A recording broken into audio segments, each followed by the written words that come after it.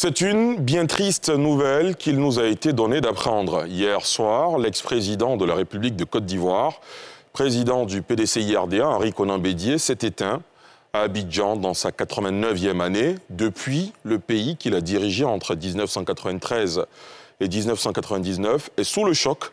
La République qu'il a servi, sa famille biologique qu'il a tant aimée, son parti politique qu'il a dirigé durant 30 années, tous pleurent la disparition de celui dont l'histoire rime avec celle du pays. Bonsoir à tous et bienvenue si vous nous rejoignez sur NCI pour cette édition spéciale hommage à Henri Conan Bédier, deuxième président de la République de Côte d'Ivoire. Moment de recueillement national marqué par un deuil de dix jours décrété ce mardi par le chef de l'État, qui était Henri Conan Bédier, ses liens et sa relation avec Félix Houphouët-Boigny, son parcours politique, ses faits d'armes politiques, son combat au service du PDC-IRDA, son héritage, autant de chapitres de la vie de l'illustre disparu que nous évoquerons avec euh, quatre invités en plateau et plusieurs autres en duplex ou au téléphone. Avec moi en plateau ce soir, docteur V.I. Bernard. Il est vice-président du parti, secrétaire exécutif chargé des structures du parti. Bonsoir et bienvenue, docteur. Bonsoir, M. Ali. Merci d'avoir accepté notre invitation. Merci, Sadou. Merci beaucoup. Ange Dagaré Dasso, il est membre du bureau politique du PDC-IRDA, délégué communal de, la, de Cocody 3. Bonsoir et bienvenue, Ange Dagaré. Bonsoir. Merci d'être là. Merci. Merci beaucoup. Professeur Arthur Bangaï, il est historien, analyste politique, enseignant à l'université Félix Houphouët-Boigny de Cocody. Bonsoir et bienvenue, donc, professeur. Bonsoir, Ali. Michel Betta, directeur des publications du journal Le Bélier. Bonsoir et bienvenue, Michel. Bonsoir, Ali. Merci d'avoir accepté notre invitation. Nous qui vous remercions. Et dans quelques instants, nous serons en duplex avec notamment euh, le député Kwasi Bredoumi Soumaïla, porte-parole du PDC-RDA, et également Yao Noël, qui est journaliste. Tous ont eu une histoire avec Félix Houphouët-Boigny. Messieurs, la nouvelle est tombée hier. On ne s'y attendait pas. Aucun signe ne présageait une telle triste nouvelle. Docteur VI, dans quelles conditions vous avez eu cette nouvelle? Merci, Monsieur Ali. Permettez que nous démarrions un peu difficilement compte tenu de l'émotion qui nous étreint. Parce que moi, particulièrement le dimanche dernier, j'étais à Daoukro avec euh, certains hauts cadres du parti pour euh, l'installation de nos candidats au régional et au municipal. C'est cela. Le président Bédier nous a reçus à déjeuner. Nous sommes restés avec lui jusqu'à 17h et nous avons quitté 17h30. Nous avons quitté Daoukro à 18h. Il était en pleine forme. Et nous revenons lundi et nous apprenons ce qui s'est passé. Se pose beaucoup de questions. La volonté de Dieu, c'est à cela qu'on serait peut-être obligé de se soumettre. Sinon, le président Bédier, tout comme le président Oufouet, n'ont jamais été des grands malades. On se rappelle qu'Oufouet a connu une période d'hospitalisation de six mois, mais Bédier, depuis qu'on le connaît, n'a jamais été hospitalisé. Et on n'a pas eu de signes prémonitoires qui puissent présager d'une telle issue. C'est pour dire que hier, donc nous étions là, l'après-midi, on nous apprend que le président, après avoir pris son déjeuner à 13h, il est rentré en chambre comme d'habitude pour se reposer et il a eu un malaise. Et côté de l'histoire, on l'a emmené à Abidjan et ce qui ressort, c'est qu'il nous a quittés. Il faut dire que, faut l'avouer, été un véritable coup de massue que nous avons reçu. Et ce sera peut-être difficile qu'on s'en remette. Mais comme nous sommes des croyants, nous sommes obligés de dire que vraiment c'est la volonté de Dieu. Donc euh, voilà dans quelles circonstances nous avons appris. Et la douleur, le parti, on en reviendra tout à l'heure. Bien sûr. Quelles sont les dispositions qui sont Absolument. Voilà. Ange Dagaré Dasso, on imagine que ça, a- ça a aussi été un séisme pour vous. Je m'incline euh, devant la mémoire de ce grand homme.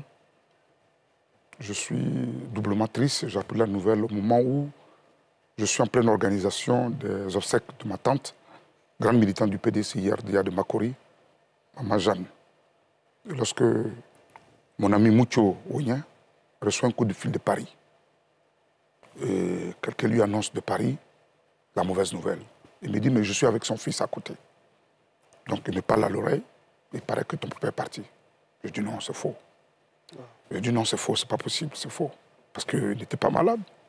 Donc tout de suite, je prends mon téléphone et j'appelle Daokro. Je parle avec eux, mais ils ne me disent pas la réalité parce qu'ils savent nos liens. Et c'est comme ça que j'apprends la mauvaise nouvelle de ce grand homme d'État avec lequel j'ai une proximité. Euh, notre proximité commence euh, le 28 octobre 1994. J'étais jeune étudiant, conseiller municipal avec Meltedor. Et c'est ainsi qu'on organise euh, sa réception après avoir succédé au président Fouboigny. Et c'est ce jour-là que nous rentrons en contact. Son épouse, pour laquelle j'ai beaucoup de pensées ce soir sur ce plateau, ses enfants, et nous formons une famille. Il m'adopte. Et puis, il m'honore de, de la présidence de la commission animation de toutes les grandes cérémonies du PDC IRDA. C'est cela. Depuis le 25 juillet 2005, je suis euh, l'animateur titré de toutes les grandes cérémonies à laquelle il participe, auxquelles il participe. Aujourd'hui, à travers cette perte de ce grand homme d'État, je perds un père et un père adoptif qui, qui dans son intimité, était monsieur charmant. Il y a le bédier public et il y a le Henri Conan Bédier dans l'intimité. Dont vous allez nous parler D'accord. Forcément. Monsieur, avant de revenir avec vous, qu'il me plaise de rappeler qu'un deuil de 10 jours a été décrété par le président de la République, lequel a rendu hommage à son, jeune, à son aîné, euh, le président Henri Conan. Je vous propose de faire le point avec euh, notre reporter et on en parle juste après. Suite au décès de l'ex-président ivoirien Henri Conan Bédier ce mardi, dans la capitale économique, le président de la République Alassane Ouattara a décrété 10 jours de deuil national. À compter de ce mercredi 2 jusqu'au vendredi 11 août, les drapeaux ivoiriens seront en berne sur toute l'étendue du territoire ivoirien, y compris ses ambassades.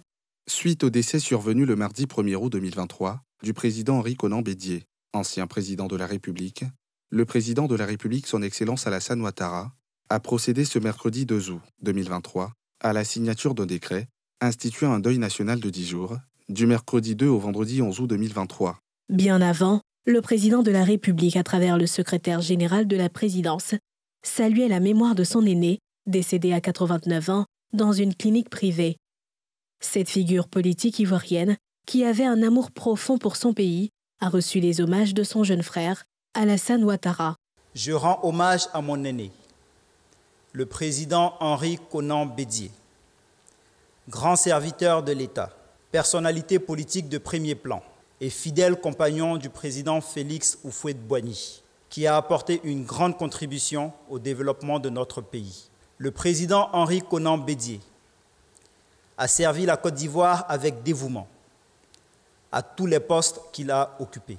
Je salue la mémoire de ce grand homme d'État qui avait un profond amour pour la Côte d'Ivoire. La disparition du président Henri Conan Bédier a jeté émoi et consternation sur toute la Côte d'Ivoire. Celui appelé affectueusement le Sphinx de Daoukro par les siens aura marqué la vie sociopolitique de son pays.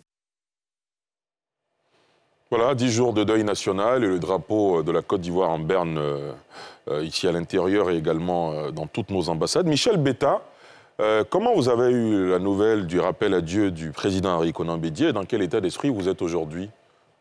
Il faut le dire, c'est un coup de massue. Parce que nous étions à la maison du parti à Cocody hier. Nous étions en pleine réunion pour préparer le congrès. Et nous venions d'achever presque d'achever la réunion lorsque certains aînés sont rentrés et nous ont soufflé à l'oreille des informations concernant la santé du président. Nous ne pouvions pas l'accepter, donc nous sommes dirigés, bien entendu, vers la Pisane. On ne nous a pas permis d'avoir accès à lui. Après quoi, nous sommes revenus à la maison. Nous sommes restés quelques instants et puis il fallait se rendre à l'évidence. Pour nous autres, nous sommes un peu des enfants orphelins que Bédi a pris sous sa coupole, sous sa coupole. Parce que c'est, voyez-vous, je veux dire, pendant son magistère, lorsqu'on disait Bédier, finance les projets des jeunes, nous étions tout, jeunes, tout enfants, hein, nous n'avons pas bénéficié de ça. Mais je pense que c'était inné en lui, il voulait aider la jeunesse, il voulait voir la jeunesse aller loin. Nous lui avons présenté un projet, il nous a adopté en même temps. Et je ne vous cache pas, j'avais fait un, j'avais écrit un roman, un pamphlet même contre les tenants du pouvoir. Puis il m'a dit, il m'a dit, non, garde ça. Quand je vais venir au pouvoir, tu vas, tu vas relancer ça. Je ne dirai pas le titre parce que le titre est évocateur, je garde ça. Mais c'est vous dire que vraiment, nous avons eu le privilège de parler à quelqu'un qui écoutait plus qu'il ne parlait. Parce que il nous, il, vous pouvez être là, parler au moins 20 minutes, une heure, mais il va vous répondre en quelques minutes, mais du tout. Il est vraiment expérimenté. Hein J'ai eu l'occasion de l'avoir en interview en 2013. J'ai mis un extrait sur ma page. Vous lui posez une question avec dix phrases, il vous répond avec un adverbe. Bah, Aucunement, nullement. Véritablement, c'est un honneur hmm. que vous nous faites aujourd'hui d'être sur ce plateau pour parler de, ce, de cette illustre personnalité pour lesquels nous n'avons pas de mots. Parce que pour nous, c'est trop grand. C'est au-delà de notre personne. Très bien.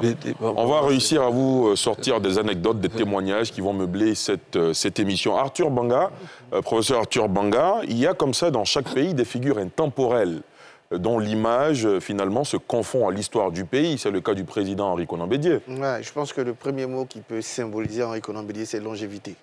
Et quand on dit longévité, ça veut dire qu'on a traversé des époques, euh, euh, il a traversé le temps. Henri Conan Bédier, on l'oublie très souvent, il a incarné la jeunesse dans les années 60.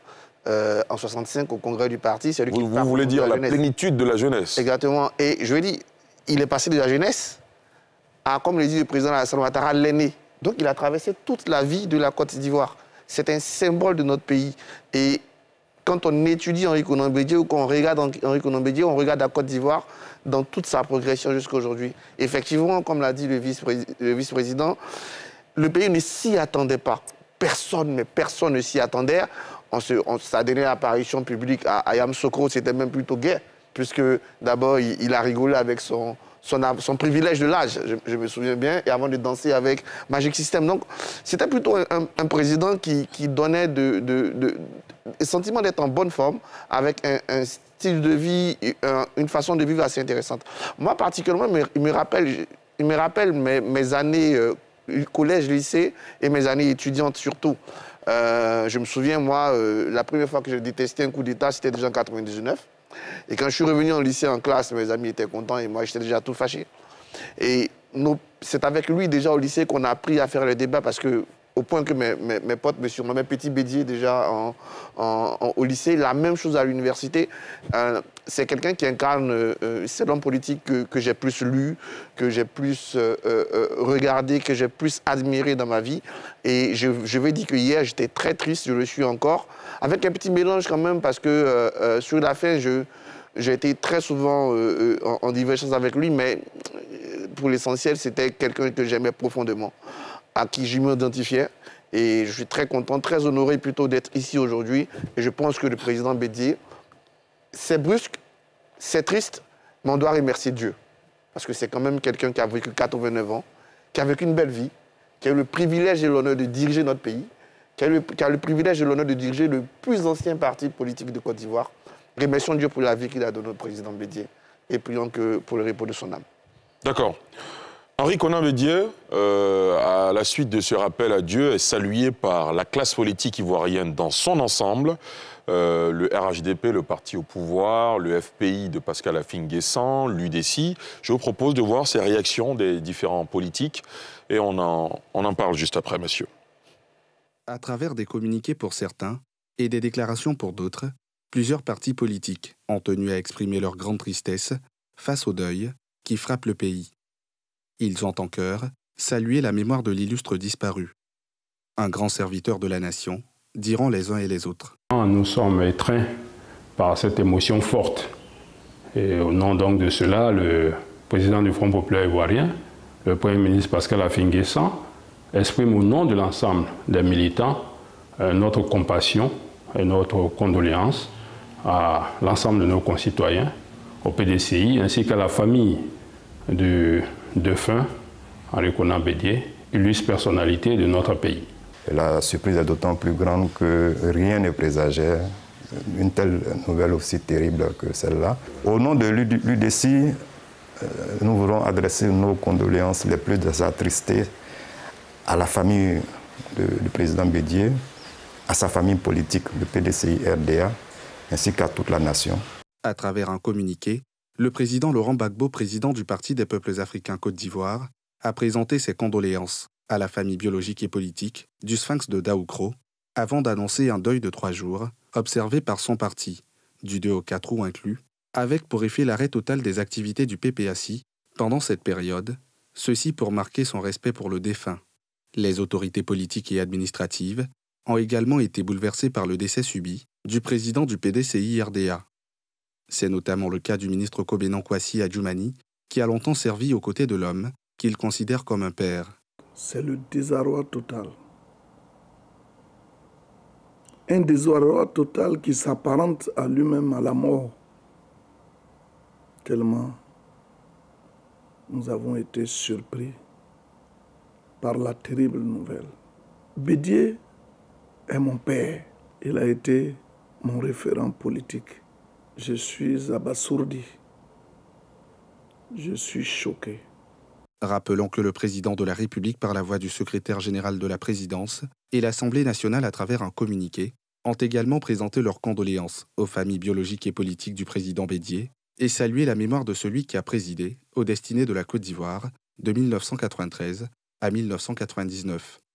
Conformément au texte du parti, l'intérim à la tête du PDCI sera assuré par le professeur Coopli Boni, doyen d'âge, des vice-présidents. Et ce soir, le président de la République, accompagné de la première dame, était au domicile du président Henri Conan Bédier pour présenter justement ses condoléances, euh, nous le voyons sur ces images, euh, à l'épouse du président Henri Conan Bédier, Henriette Conan Bédier, dont on va parler dans cette émission. Euh, sa compagne de longue haleine avec qui il a traversé toutes les péripéties de la vie, messieurs. Juste après le président de la République, le président du PPACI également s'est rendu au domicile du président Henri Conan pour présenter ses condoléances. On le voit sur ces images, le président Laurent Gbagbo qui fait une accolade à Henriette Conan Bédier. Messieurs, pour les jeunes qui nous suivent ce soir, qui sont certes dans la consternation, qui sont dans l'émoi, mais qui n'ont pas connu le parcours du président Henri Conan Bédier, comment commence l'histoire du président Bédier? On sait que c'est un enfant de Félix Houphouët-Boigny. Comment se fait la rencontre déjà Et qu'est-ce qui a favorisé justement cette ascension auprès de Félix Houphouët-Boigny, docteur VI Merci. Vous savez que le président Houphouët-Boigny avait un talent particulier. C'était celui de dénicher des valeurs. C'est cela. Et je pense que cela a milité pour beaucoup en faveur du, président Henri Conan Bédier. D'abord, jeune élève, il a fait Guiglo à l'ouest de la Côte d'Ivoire, ensuite Dabou. Et après, pour l'enseignement supérieur, il est parti à Poitiers, en France. Et vous savez, le président, au fait, dans sa vision de pouvoir mettre en place une nomenclature administrative et intellectuelle à la Côte d'Ivoire d'après indépendance, a déjà fait, a fait partie en 1946 ce qu'on a appelé l'aventure 46. C'est cela. Dont l'un des membres est celui qui est le président intérimaire désigné aujourd'hui selon nous. Euh, docteur Copli. Docteur Copli, professeur Copli. Professeur Copli, voilà, pour moi. Copli, Copli Boni. Alors, c'est dans cette promotion des jeunes, vous avez signifié tout à l'heure, euh, je crois que c'est M. Atu Banga, qu'à chaque étape de nos congrès, depuis l'indépendance, le président choisissait, le président du parti, ou faut choisissait un jeune cadre qui émerge, qui allait être la projection de l'avenir du parti sur... Qui incarnait l'avenir. En 65, c'est le président Henri Conan Bédier qui a prononcé ce discours. En 70, c'était Paul Akoto Yao. Vous voyez déjà le cheminement qu'il faisait. Et je crois que c'est dans cette euh, même logique-là qu'il a euh, euh, détecté cette bonne graine. N'oublions pas que non seulement le président Bédi a fait de longues études, de brillantes études, d'économiste, et n'oublions pas qu'il est un avocat. Tout à fait. Donc le président, fait, a essayé de décerner tout cela en lui. Et puis, quelqu'un l'a dit tout à l'heure, c'est vraiment quelqu'un qui aime profondément son pays. Je crois que le choix des hommes politiques ne se fait pas au hasard. Ils étaient nombreux, ils ont fait partie d'une longue génération. Le président Oufouette avait ses, promotionnaires. Le président Bédi en avait aussi. Mais le choix s'est porté sur lui. C'est en vertu de beaucoup de choses et surtout les qualités intrinsèques de, l'homme. Je voulais dire que c'est vrai, nous pleurons un homme d'État aujourd'hui. Nous avons perdu quelqu'un qui, à qui nous étions attachés au plan affectif. Mais nous devons louer aussi Dieu parce qu'il a fait de, des hommes exceptionnels. Le- la Côte d'Ivoire, le PDCI, connu des hommes exceptionnels. En termes de longévité, comme le, le professeur Atubanga l'a dit, longévité biologique, mais lo- longévité de la carrière, de la présence effective sur la scène politique. Absolument. Donc, euh, Bédi en a connu. Dans son histoire, il s'est marié en 1952. Moi qui vous parle avec euh, la, les barbes aujourd'hui, je n'étais pas encore né. Ah, Donc, vous voyez, quelqu'un déjà à l'âge de se marier en 52 et aujourd'hui, 89 ans, de présence continue et permanente sur la scène politique, nous devons rendre grâce à Dieu parce que c'est vrai, toute séparation est douloureuse et il part au moment où on a le plus besoin de lui. Quand je dis où, nous, c'est le PDCRDA, mais c'est toute la Côte on d'Ivoire. va parler du PDCRDA et surtout Et de son la- héritage. Voilà, toute la Côte d'Ivoire a besoin de lui. Et vraiment, euh, nous déplorons son départ. C'est un vide qu'il laisse, mais comme vous dites qu'on va en parler, Bien on sûr, bien sûr. Absolument. Professeur Arthur Banga, oui. En fait, une euh, précision entre, entre les deux, entre, entre Fouet et, et- et Bédier, la, la première rencontre remonte, je pense, à 58. euh, quand, quand Bédier rentre au, au pays, après ses, après, euh, Ange Dakaré Dassault à Kies. après, euh, après ses études, il, il- il va dans l'an- l'ancêtre de, de la, de la, la, CNPS. la Euh, CNPS. Sous-directeur des allocations. Voilà, c'est ça. Sauf que le- le- le- avec la communauté, euh, la communauté de 58, la France dirige euh, euh, la politique étrangère, mais chacun des pays doit envoyer des représentants en politique étrangère. Et donc, je crois sur le conseil de Hucher Assouan, qui le connaissait très bien, Tout à fait. Oufou Boigny recrute finalement Henri Conan Bédier pour représenter la Côte d'Ivoire. Et il se rencontre brièvement. Il était à l'époque le Premier ministre de la Côte d'Ivoire. Il lui dit Bon, j'ai pas eu le temps de vous voir, mais tous vos amis me disent du bien de vous, donc allez-y. Et c'est c'est intéressant pour Bédier parce que quand il arrive, après six mois, il va aux États-Unis, où il fait un stage à l'ambassade des États-Unis, mais dans le secteur financier de l'ambassade des États-Unis. Et naturellement, quand il revient au pays, euh, je crois en mai 60, naturellement, quand la Côte d'Ivoire doit ouvrir son ambassade aux États-Unis, euh, c'est le plus américain d'entre nous, donc Henri Conan Bédier, qui, prend la tête de l'ambassade. Il réussit deux choses qui vont marquer Oufoué-Boigny. Il réussit quand même à faire venir Robert Kennedy au- à l'ambassade, au- à la fête nationale de 1961. Et il réussit la magistrale visite d'État de Félix Oufoué-Boigny en 62. C'est le magistral. Dans les images, euh, Voilà. sont encore Et dans les esprits. Ce qui marque encore Fouette, c'est que euh, finalement Bédier, en étant resté au service économique de l'ambassade, il connaissait finalement tout le, tout le, le système économique américain. Et Bé- Fouette rencontre des investisseurs. Je pense que quand il sort de cette visite, il se dit, celui-là, C'est une bonne pioche. C'est une bonne pioche. Et donc, euh, euh, n'oublions pas qu'entre 62 et 64, il y a quand même des, un remue-ménage au PDCI en Côte d'Ivoire. Et donc, ça, ça laisse, ça dégage un peu la place. Bédier arrive, il, devient ministre des Économies et des Finances. On l'oublie très souvent. Bédier, c'est l'incarnation des miracles économiques ivoiriens. C'est le ministre des Économies et des Finances de 66-77. Donc, aux plus belles heures de l'économie ivoirienne. Et qu'est-ce qu'on retient de son passage? On peut peut-être revenir en tant que président. C'est le président de la relance économique. Avant que Bédier arrive en 93, la Côte d'Ivoire est au bout du gouffre. Elle ne s'en sort pas. On, on se trompe souvent. Euh, c'est pas un beau cadeau, honnêtement, que vous faites laisse quand même. Il laisse un pays en crise politique, en crise économique, en crise sociale. Et Henri Conan Bédier doit récupérer ça. Mais il réussit quand même une relance économique. Et euh, voilà, donc le lien entre les deux, je pense, il, part de, de cette période entre 60 et 62 et, de, et, de- et de- et du brio de- du ministre des Économies et des Finances qu'il était, Très bien. qui a fait rayonner le pays. Ange Dagaré Dassault, vous, qu'est-ce que vous retenez de la relation entre le président Henri Conan Bédier et, son père, le président Félix Houphouët-Boigny Comme vient de l'évoquer le professeur euh, Banga, c'est Huchera Soin qui présente euh, le jeune Henri Conan Bédier au président Fauboigny. Oufoué savait qu'avec euh, la bipolarisation du monde, la Côte d'Ivoire devrait avoir une attitude de, de neutralité dans les relations internationales diplomatiques. Donc il envoie Bédier au Quai d'Orsay pour un stage et ensuite il envoie aux États-Unis. Et quand il l'envoie aux États-Unis, il le fait revenir et il fait de lui le premier ambassadeur plénipotentiaire auprès de la, capitale fédérale des États-Unis, c'est-à-dire Washington. Lorsque vous, vous arrivez à Washington, à l'avenue 2424 Massachusetts, La première photo que vous voyez à l'ambassade, vous voyez pratiquement un bébé. Il avait pratiquement 26 ans, vous voyez un bébé. 26 ans, 26 ans, voilà. Et il est, il est ambassadeur plénipotentiaire auprès des Nations Unies. C'est-à-dire, il est à Washington et il est en même temps à New York. Pour préparer la Côte d'Ivoire à être dans cette dynamique de coopération où, il disait lui-même, le président Fouboigny, la Côte d'Ivoire n'est l'ennemi des personnes, mais l'ami de tout le monde. Conan Bédier passe, comme euh, le professeur vient de le dire, dans une dynamique mais diplomatique euh, très forte. Et le président Fauboigny, sous les conseils de Robert Kennedy, le fait revenir en Côte d'Ivoire en 66. Et il le nomme en- euh, ministre de l'économie et des finances en remplacement du Raphaël français qui était là. Raphaël. Voilà, Raphaël. De 66 à 77. Et puis, euh, la relation de Saint-Pierre de Jésus et Jésus-Christ, l'esprit du 20 juillet, où il le frustre. Le 20 juillet 1977, il le frustre. On n'a rien, on a, on ne sait que faire des, des- des cas de Compétents. malhonnêtes. Ce qui, est, ce qui est une injure à la mémoire de Bédier. Et quand vous lisez Les chemins de ma vie, il le répète dedans. On ne prête pas sa dignité deux fois à un homme. Ben, Oufoué, qui sait réparer les choses, le fait partie en 1977 auprès de Marc Namara, président de la Banque mondiale.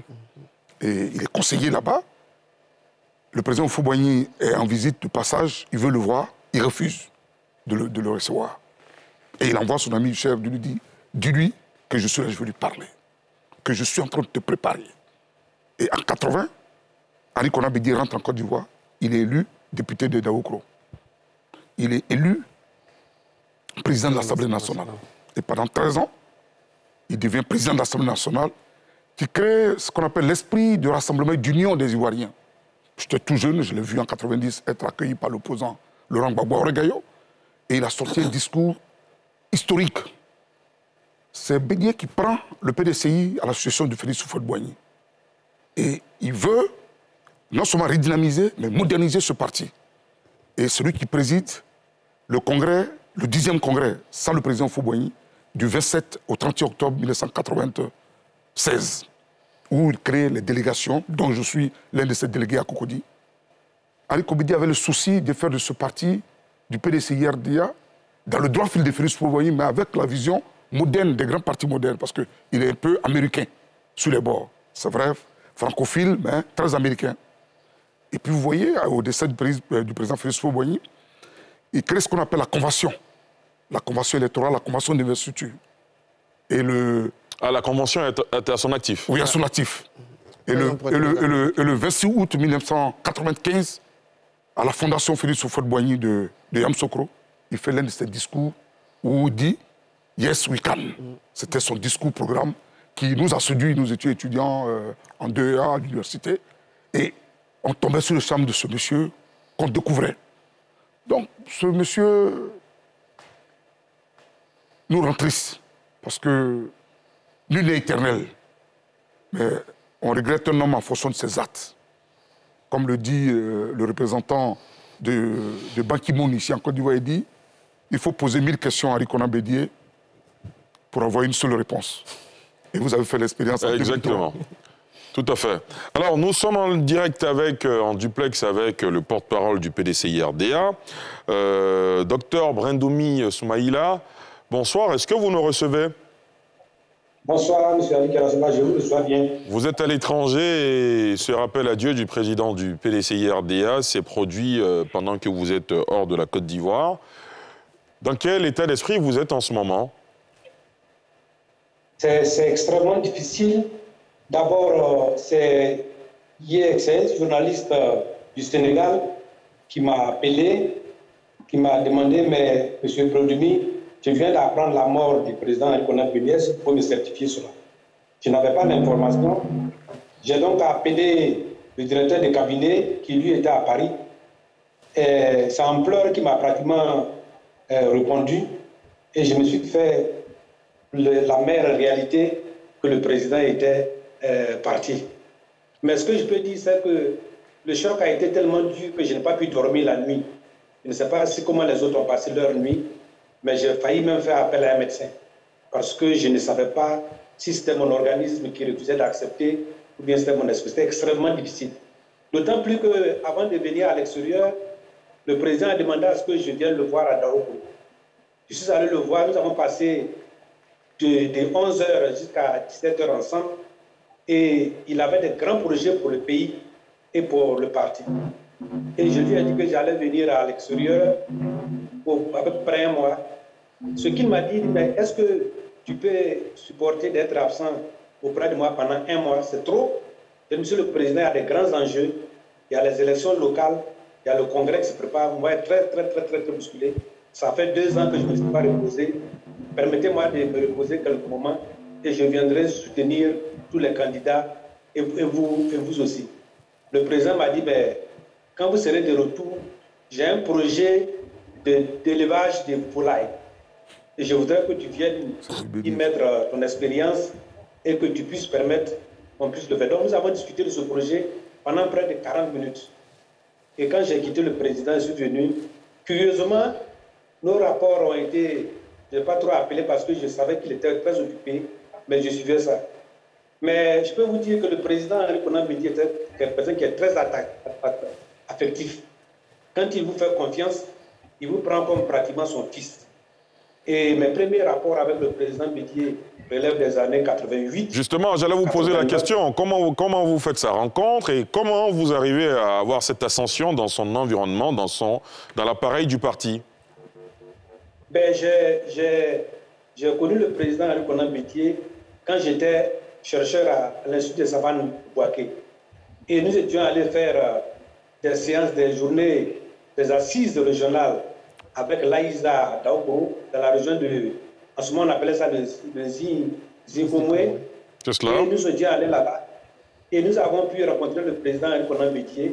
C'était le ministre Alassane Salvindia qui était le ministre de la recherche scientifique. Dans, dans nos débats, dans nos échanges, que c'était quelqu'un qui était fondamentalement attaché à la terre, à l'agriculture, au développement rural, qui est un domaine qui est le mien, et qu'il avait une vision de développement de la Côte d'Ivoire qui correspondait véritablement à un pays qui va baser son développement sur la transformation de son agriculture, de ses produits agricoles pour devenir un pays industrialisé. C'est comme ça que, dans mes interventions, euh, quelqu'un a signalé mon nom au président Nkona Petit. Et quand je suis allé retourner à Boaké, il m'a fait appel pour pouvoir euh, donner un appui en termes de production et d'élevage. Il m'a demandé de voir comment on peut trouver des panicums maximum pour faire un pâturage intensif dans ce domaine à Daogo. C'est comme ça que je l'ai connu. Mais après qu'il soit revenu, qu'il soit devenu président, les rapports ont été distants. Savez quand on passe des, des députés présidents de l'Assemblée nationale, on devient président de la République, un autre entourage se fait.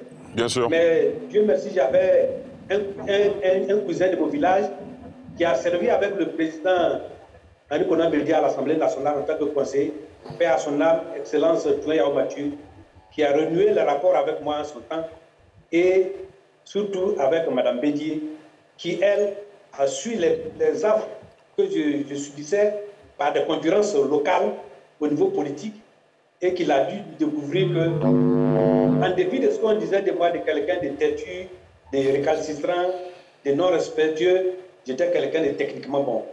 C'est comme ça qu'un matin, le président Nicolas Bédier m'a appelé, quand j'ai perdu mon poste à DTG de l'agriculture, il m'a fait appeler à Daopo et nous avons déjeuné ensemble et il m'a demandé pourquoi est-ce que je ne venais pas le voir. J'ai dit que je n'avais pas son contact. Et il n'a rien dit. Quand j'ai quitté Daopo, que je suis arrivé à Kotobi, le téléphone sonne, il sonne plus privé, il sonne avec un numéro. Et je décroche, il dit Soumaïla, tu as, tu as vu ce numéro? C'est mon numéro, tu m'appelles désormais. D'accord. Et nos rapports n'ont pas cessé jusqu'à ce que je devienne député à l'Assemblée nationale. Pour, aller être candidat à la députation, il m'avait dit que ce n'était pas nécessaire parce que tous les ressortissants, les cadres PDC de, de ma région disaient que j'allais partir échouer. Et que si je échouais, ça allait être un, handicap pour moi de, faire une profession dans le parti. Mais il ne me conseillait pas d'être candidat. J'ai dit au président, président, je vais être candidat pour faire prendre le poste. Quand j'ai été élu, le président a voulu que je sois président du groupe parlementaire. C'est la première proposition qu'il m'avait faite. J'ai dit je ne connais pas trop bien le CACAN du groupe parlementaire et donc je préférais vous servir dans d'autres endroits. C'est ainsi que, par la suite, il a voulu que je sois le porte-parole du PDCI RDA parce que mes interventions sont pertinentes, techniques et correspondent à ce que l'attend de quelqu'un de porte-parole. Porte Très bien. C'est donc depuis 2021 que je suis devenu proche de lui. C'est cela. Je n'ai pas fait plus un mois sans que nous puissions véritablement faire des séances de travail de 15 à 2 heures de temps selon l'intérêt du, Très bien. On reviendra à vous tout à l'heure pour parler justement de l'héritage d'Henri Conan Bédier euh, euh, au niveau du PDCI-RDA. Nous avons un autre, euh, une autre personnalité en ligne, Yao Noël, qui lui est journaliste, une figure importante dans le milieu de la presse en Côte d'Ivoire. Yao Noël, bonsoir. Bonsoir, Merci beaucoup d'avoir accepté de vous ouvrir ce soir sur le président Henri Conan Bédier que vous avez servi aussi. Quel souvenir gardez-vous de l'homme, Yao Noël? Je voudrais tout d'abord euh, dire toute mon émotion, mon tristesse, car euh, le président Henri Conan a été un des moments très importants de ma vie. Plus qu'un père, le père biologique le géniteur. Je m'incline donc ce soir devant sa mémoire avec mes condoléances sincères et appuyées à son épouse, maman Ariette Konabitieu, à ses enfants, à sa famille de Daoko et à la nation ivoirienne qui l'a servi avec amour et émotion. Mhm. Vous l'avez dit, Ali, journaliste euh, de profession, juriste à la base de formation. J'étais donc euh, en fraternité matin, chef de la section internationale du journal dans les années après le euh, mur de Berlin, dans de l'Est. Donc c'était une période très palpitante. Je suis donc le chef de la section internationale, ce que les anglo-saxons appellent le foreign editor. C'est cela?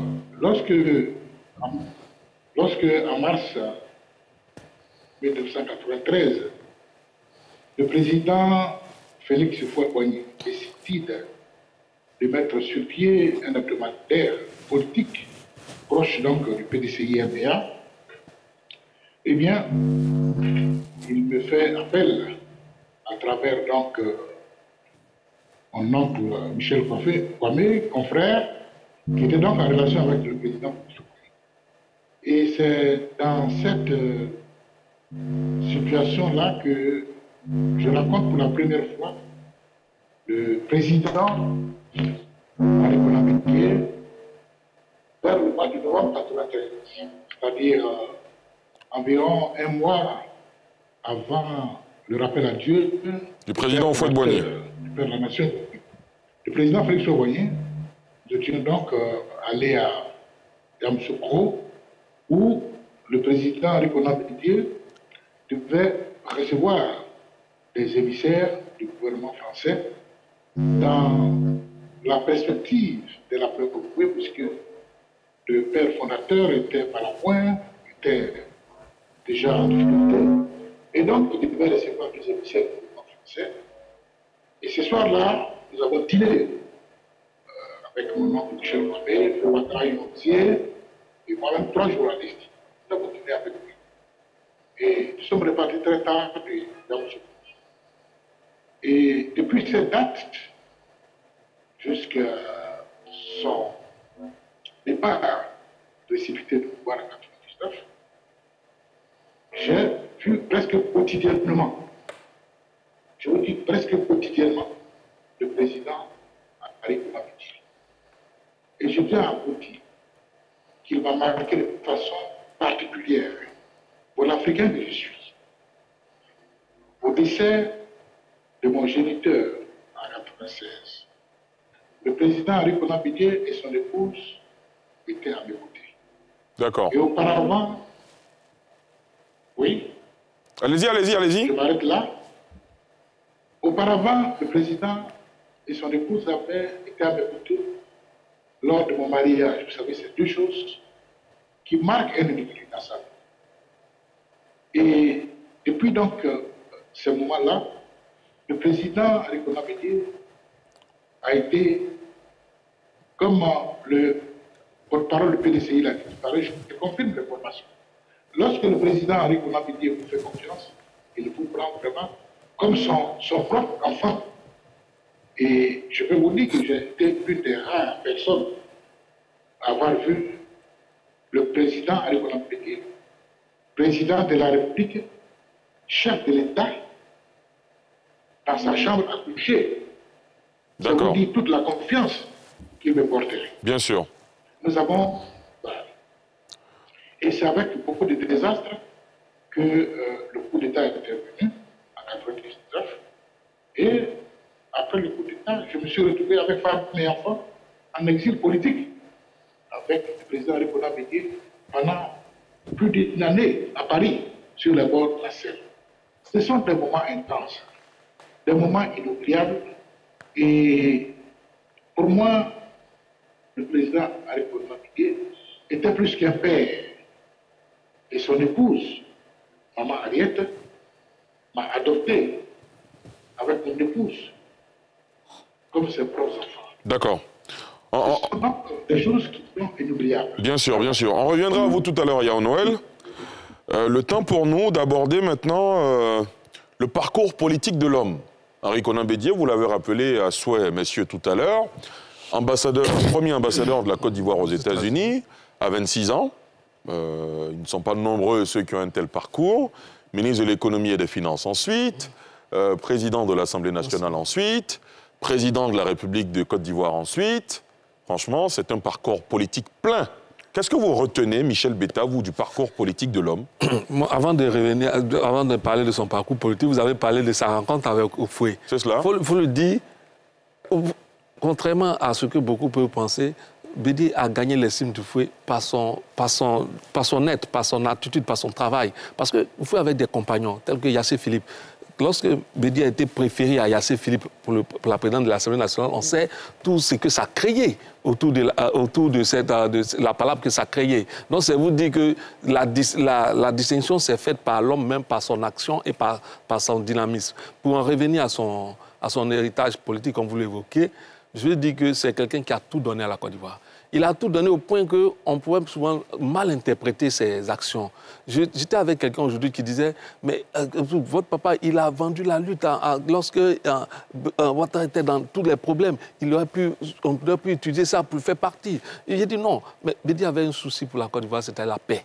Euh, au point qu'il était prêt à souvent à dire a dit non à ses compagnons qui lui disaient non, il ne faut pas y aller, il ne faut pas, faut pas donner la possibilité au président actuel de, pouvoir gérer sans, sans être embêté. le plus important, c'est la Côte d'Ivoire, c'est ses enfants, c'est les enfants de la Côte d'Ivoire. Donc je vais dire que dans son héritage politique, il a, il a imité au fouet en voulant garder cette Côte d'Ivoire-là en paix, au point que lorsque il y a eu euh, ce coup d'État malheureux, ce coup d'État malheureux, il aurait pu répliquer par d'autres moyens, mais il a choisi de garder sa distance en attendant que les choses se normalisent. C'est pourquoi même lorsque le PDCI était parti hein, pour choisir un candidat, il s'est présenté comme candidat, alors qu'il n'avait pas besoin de se présenter comme candidat euh, pour choisir le candidat du PDCI. C'est vous dire qu'il a voulu garder toujours cette ligne de vouloir instaurer, garder la paix pour la Côte d'Ivoire. Et je pense qu'il a réussi plus ou moins parce que, juste avant lui, sous son magistère, c'est vrai qu'il y a eu ce malheureux coup d'État, mais nous n'avons pas eu hein, une crise aussi dense que l'on a connue après, son magistère. Donc et puis après cela, lorsqu'il y a eu les crises très difficiles en Côte d'Ivoire, c'est lui qui a été le premier à faire le pas pour qu'on arrive à une décrispation de la situation. Ça vous dit qu'aujourd'hui, la Côte d'Ivoire paie Bédier, mais la Côte d'Ivoire paie également un nombre de paix qui savait rassembler lorsque la Côte d'Ivoire était au point d'être divisée je me souviens que lorsque Babo gérait le pays, on avait, on avait souhaité son départ. C'est BD qui a dit non, on ne peut pas souhaiter le départ d'un président qui a été élu. Il faut qu'on négocie pour voir comment on peut conduire la, situation pour aller à une élection. Donc vraiment, je crois que quand, quand on repense Bédier, on repense à cet homme de paix qui a été dans son parcours politique, malgré les péripéties qu'il a subies, malgré les trahisons qu'il a subies, il a cherché à garder cette amitié, je dis cette euh, élégance politique-là avec tout son entourage politique. C'est ça, c'est ce que je retiens. Très bien. Ange Dagaré Dassault, qu'est-ce que vous retenez du parcours politique de l'homme entre toutes les péripéties qu'on a connues jusqu'à son accession euh, à la magistrature suprême et ce qui s'est passé ensuite? Il avait horreur du désordre. Bidi avait horreur du désordre. Rappelez-vous que le 20 septembre 2002, au moment où la rébellion battait son plein et que notre ministre euh, de l'économie et notre ministre des Sports étaient retenus à Boaké dans le cadre de, des journées de Confégès, il a condamné la rébellion. Comme il a continué de condamner le coup d'État. Et je me rappelle quand on était à la JPDCI, on voulait organiser des manifestations le 4 novembre 2004. Il a refusé. On était tous avec lui, il a dit non, pas question. Et surtout, ce qui m'a marqué, c'est lorsque les élections du 22 octobre 2000 se sont déroulées et qu'il y avait des contestations. Et que nous, les jeunes du PDCI, à cette époque, on voulait se mêler à ceux qui contestaient. De Bito Verdi nous a eu au téléphone par le biais de mon ami et frère Kakabé et Père son âme, le grand frère Tapekoulou. Nous étions ensemble, il a dit Bagbo a été brave, laisse-le gouverner. Moi, ça m'a marqué. Chaque fois que des actes qui vont mettre en mal la paix doivent être posés, le président Bidier s'oppose. Parce qu'il considère qu'un pays n'est pays que lorsque le pays est stable et évolue dans la paix. Le 16, le, 16 décembre 2014, lorsque nous avons inauguré le pont Henri Bédier, vous avez vu son discours? Ce pont à lui seul vaut un deuxième mandat à son bâtisseur. Ça veut dire que c'est un homme de progrès, un homme de développement. Malheureusement, souvent quand je changeais avec lui, je dis, mais papa, vous n'avez pas la main heureuse parce que tout ce, tout ce que vous aidez se retourne contre vous. Il dit, oui, c'est mon destin. Il dit, c'est mon destin, mais vous compartez un jour. Nous perdons un homme profondément de paix, un homme sensible, un homme qui, chaque fois qu'il recevait des familles, c'est chaque chaque jour que des familles défilent à Daokro pour lui annoncer la mort de celui-ci, de celui-là, Bédi est toujours compatissant. Quand il y a un désordre quelque part, le président Nicolas Bédier se disait non, ce n'est pas normal. Allez-y, cherchez la paix, cherchez une solution. Ce grand homme d'État que nous perdons aujourd'hui, comme je le ai dit un jour, je dis c'est après. On voit la taille du crapaud à son décès. Et c'est après que les hommages sortiront. Il était un homme de paix, il était grand. Mais nous, de votre vivant, par moments, il a mal lorsque les gens attaquent son âge. Et une fois, on parlait sur lui à Cocody, et je lui ai dit, mais c'est ceux qui n'ont pas eu de parents qui ont eu cet âge-là qui peuvent attaquer votre âge. Vous vieillissez bien, comme le professeur Zatizaourou l'a dit, en parlant de votre âge, il a dit, vous êtes l'un des rares Africains qui vieillit bien et il vivait bien. Il était un homme programmé il se lève tard, il a des heures fixes de déjeuner et de dîner. Il ne vous disait jamais, venez, on va manger. Venez, on va déjeuner. Ou venez, on va dîner. Il aimait le sport. C'est pour beaucoup d'Ivoiriens ça. Ah, ça, on ne savait pas. Oui, si, si, il aimait le sport. Et, il pratiquait quel type de sport La marche C'est le, football, le football. Je vous dis. Vous nous dites le voir que le président Bédier euh, aimait le foot. J'étais allé le voir. Et puis, bon, on a fini. Et il m'a dit, mais eh, tu es le jeu où, Ange? Je dis non, je suis à l'hôtel à paix. Il dit bon, viens à 17h, on va, on va regarder le match. On a regardé le match. Il connaissait tous les joueurs. Moi qui étais plus jeune que lui, je ne savais rien du tout. Et il disait le nom de chaque joueur. Et chaque fois qu'on m'a. C'était un fou du football. Et je me rappelle, j'étais étudiant en 95, j'étais conseiller municipal à l'Amérique Cocody. Et nous sommes allés chez lui. Orlando, Pirate et la SEC devraient jouer. Il m'avait remis 200 t-shirts pour les étudiants, plus 200 000. Il a dit bon, qu'il paye le transport pour venir au stade quand il parle du sport, ben, vous, êtes, vous êtes dépassé. C'était, puis, il avait un côté très moqueur. Ah oui, si le président Bidier se moque de vous, ben, vous allez quitter la terre. Mais il aimait, il aimait la bonne humeur, il aimait. Dans son intimité, un homme très charmant. Et puis, notre dernière rencontre, c'est à la triste occasion du rappel à Dieu de son héritier, Marcelin Kofi Bédier, son neveu. Mm. Je t'allais allé du Yako. À ma grande surprise, moi, petit bêté des Gagnois, un vieux baoulé m'appelle dans sa chambre. Je suis assis à côté de lui sur son lit. Et on a échangé. Parlant de la Côte d'Ivoire, parlant du PDCI. C'était un grand homme. Et je suis ce soir meurtri de parler de lui. Parce que je m'apprêtais à lui rendre un grand hommage. Et chaque fois que je le voyais, je dis, Monsieur le Président, il faut vous a laissé un grand parti politique qui s'est effrité entre vos mains. vous avez, vous avez le devoir de le ramener. Si vous n'avez pas pu, c'est Dieu qui l'aura voulu. Mais le prochain congrès, nous allons vous rendre un grand hommage. Si Dieu fait que je suis le maître de cérémonie, vraiment, ça sera l'une des, de, de- de vos moments politiques les plus intenses. Et malheureusement, cet hommage se fait à titre posthume. Alors, C'est bien euh, dommage. Docteur Veilly, justement, je venais à vous. De mémoire de fidèles du président Henri Conan Bédier, en général, on se dit que les grands hommes d'État, notamment les ex-présidents de la République, avant de tirer leur révérence, ils ont soit des regrets de leur parcours, ou euh, c'était quoi, euh, s'il y en avait évidemment, les regrets du président Bédier, de son parcours politique, et c'était quoi ses plus grandes fiertés? Avant d'en arriver là, je voudrais, euh, comme vous l'avez demandé tout à l'heure, les caractéristiques, je dirais, les grandes qualités, les grandes étapes de la vie politique du président C'est cela Bédier ont été marquées par euh, quatre valeurs fondamentales. Dites-nous. Premièrement, c'est un homme de parole. Si le président Bédier prend un engagement avec vous, quelles que soient les circonstances qui vont, ils vont, vont subvenir, il va aller jusqu'au bout pour être conforme à ce qu'il a prononcé comme un accord avec vous. C'est un homme de parole.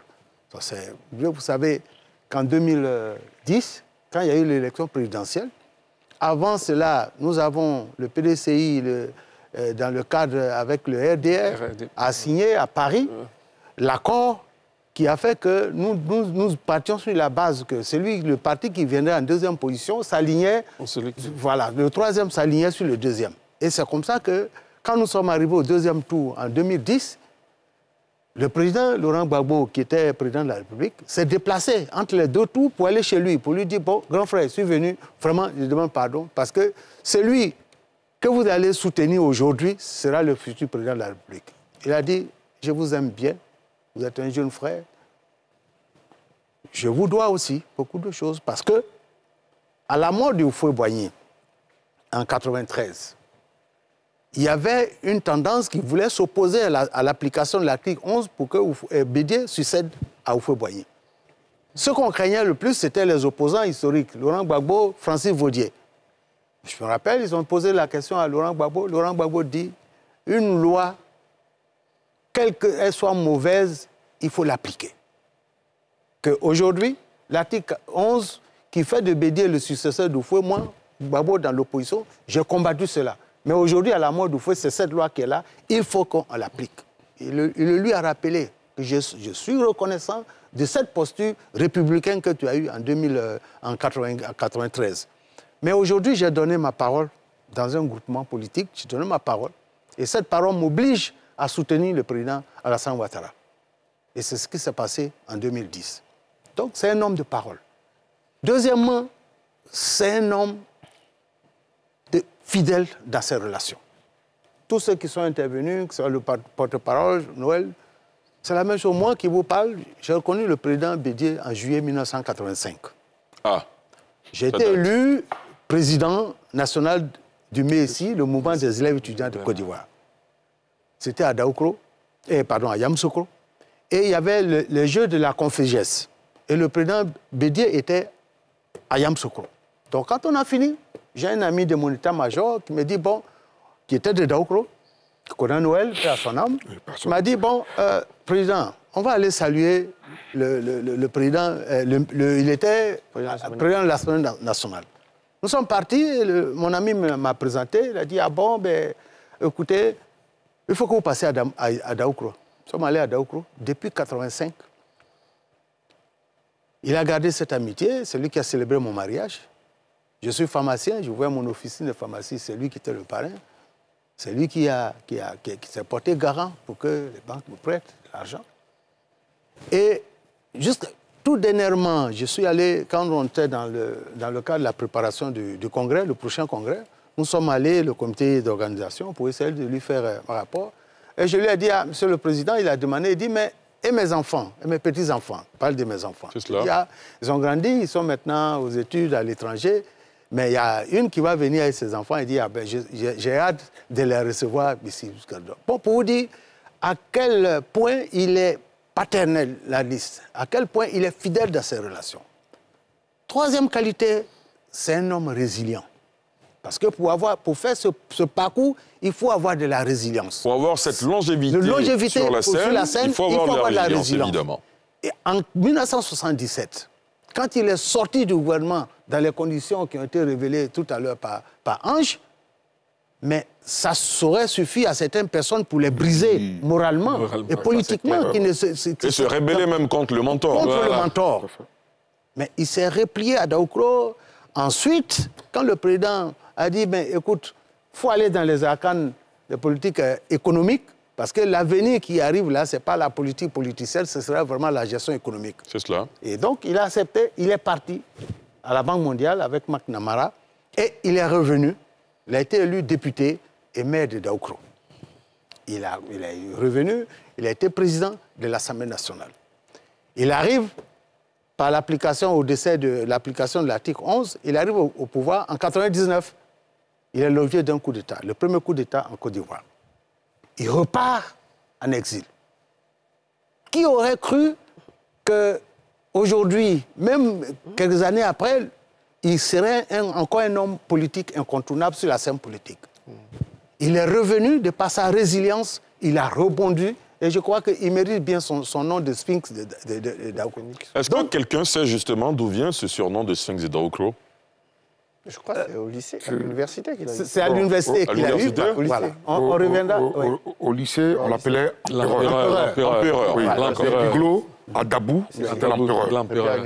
Et, et à l'université, à Poitiers, est, est venu, parce que dans toutes les situations, Il, il arrivait voilà. toujours à se remettre. Alors, donc, pour sa terminer, résilience se révèle. On laisse- on laisse voilà, terminer, pour je reviens à terminer, vous. Confusion quand même. La résilience, voilà un homme résilient. Et c'est ce qui explique tout ce qui s'est passé. Donc, un homme de, de pardon. Le pardon, ça a caractérisé cet homme.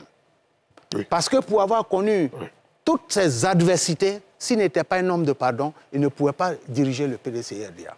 Quand il y a eu le coup d'État en 1999, c'est c'est- certains de- D'abord, quand il est sorti du gouvernement en 1977, c'est ses proches collaborateurs, soit directeurs de cabinet, chefs de cabinet, chargés de mission, c'est eux qui partaient voir le président au fouet pour dire ton type que tu préfères, que tu as dit qu'il va te succéder, voilà ce qu'il a fait, voilà certaines erreurs, voilà ce qu'il a eu à faire. Il a eu les...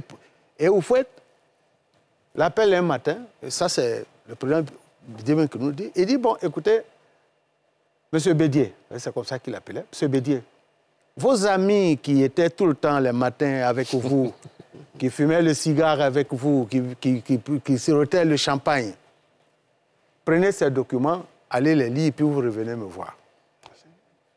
C'est comme ça que vous faites fonctionnaire. Il prend, c'est ses plus proches collaborateurs qui ont fait des rapports les plus incendiaires sur lui. Tout à fait. Ensuite, quand il y a eu le coup d'État en 99, les exemples sont là. Certains aujourd'hui qui, qui sont ses proches collaborateurs sont les premiers qui sont rentrés dans la salle du bureau politique du PDCI pour faire descendre le portrait d'Henri Conan Bédier. Décrocher son portrait. Décrocher son, son- son- son Nous portrait. étions là, on a vu. Il est revenu, il savait tout ça. Il leur a pardonné. Beaucoup sont par- font partie aujourd'hui de ses proches collaborateurs.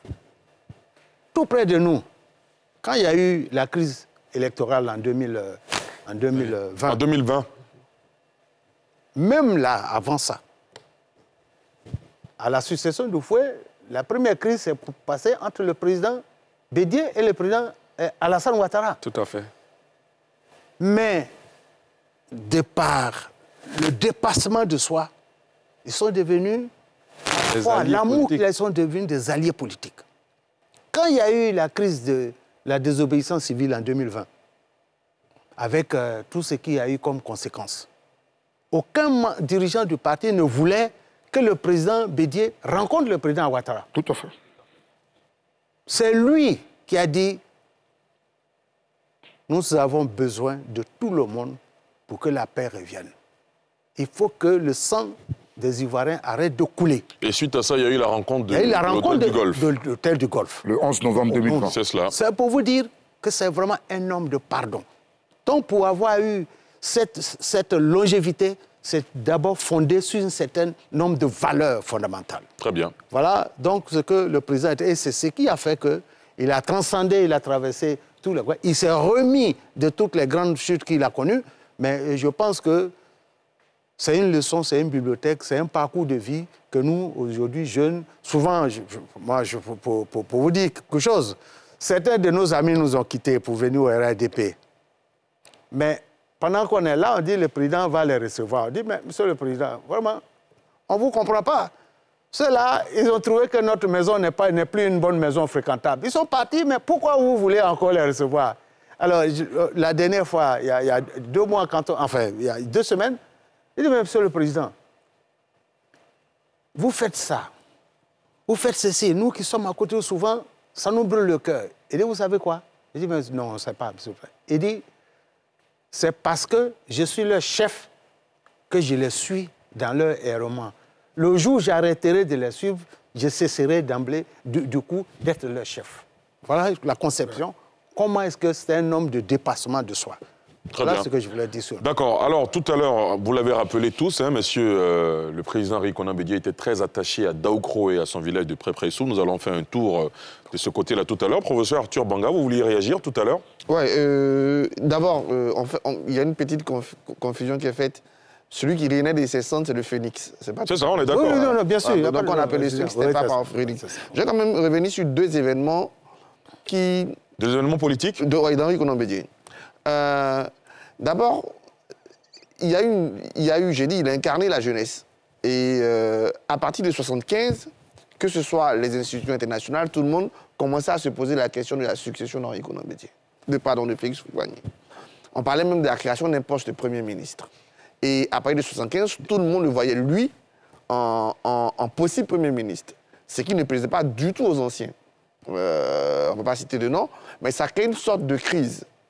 Et Oufouette a estimé qu'en ce moment, euh, il fallait quand même le ramener sur Terre, je pense. Et, mais il l'a ramené de la façon la plus violente quand même. Tout Après, sur 1980, attention, je ne pense pas qu'il soit totalement nommé. Ce n'est pas tout à fait un cadeau.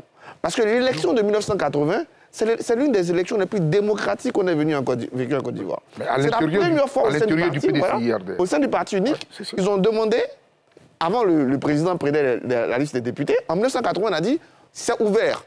À condition. Une sorte de primaire Oui, une sorte de primaire. À condition que tu sois PDCRDA. Et, mais c'était une façon pour Fouet de régler cette question entre Philippe Yassé et Henri Conan Bédier. Yassé incarnant les compagnons, les salles et Bédier incarnant cette jeunesse qui va monter, qui, a, qui, qui, veut être président. Et il a gagné les élections. Oui. Ça n'a pas été un cadeau. Surtout cette jeunesse issue de la fiance. Exactement. Et je vais revenir sur le parcours de la FION parce qu'il y, a, y a quand même dans le parcours d'Oufeu Boigny, de, de nommé son lien à Oufeu Boigny, quelque chose, un petit flottement. Euh, Henri Conan c'était un nationaliste et c'est quelqu'un qui, depuis, était un anticolonial. Et il, n'hésitait pas à dire à ses amis Oufeu va chasser tous ces blancs. Sauf quand il arrive comme étudiant, il se rend compte que euh, Oufeu Boigny fait autre chose et il est, le, il est le premier fondateur de la FIOF avec cette phrase Oufeu Boigny est un agent de l'impérialisme. Henri Conan Bédier la prononce. Voilà. Mais après, euh, euh, il rentre, il comprend dans son ascension. Deuxième chose sur laquelle il faut, il faut revenir, qui est assez, sur laquelle il faut insister, la paix, pour, Henri Conan Bédier, ça signifiait quelque chose. La paix signifiait quelque chose. Je me souviens en 2010 de son courrier à Laurent Gbagbo. Souvenez-vous, dans la période de l'entre euh, où on avait deux présidents, mm. où il expliquait à Laurent Gbagbo que tu peux avoir cette conviction, mais pour la paix. Il a lui-même pris son exemple de 99. Je pense que j'ai été, j'ai été turc. Même en 2010, je pense que j'ai gagné. C'est ça. Mais pour la paix. Et le deuxième exemple de paix qu'il faut voir, moi, franchement, c'est l'exemple d'octobre 2020. On était dans la tension. Vous savez, les, premières félicitations à la Ouattara sont arrivées après cette rencontre-là. exactement. Personne n'osait euh, féliciter. Parce qu'on était dans une élection avec une tension palpable. Eric Conan a su baisser la tension. En 2002, déjà en 2000, en octobre 2000, en octobre 2000 alors que euh, après la, prononciation des résultats, euh, Laurent Gbagbo qui avait arraché dans la rue, le RD la Salvatore qui voulait récupérer le pouvoir, Henri Conan a appelé à se calmer. Se calmer.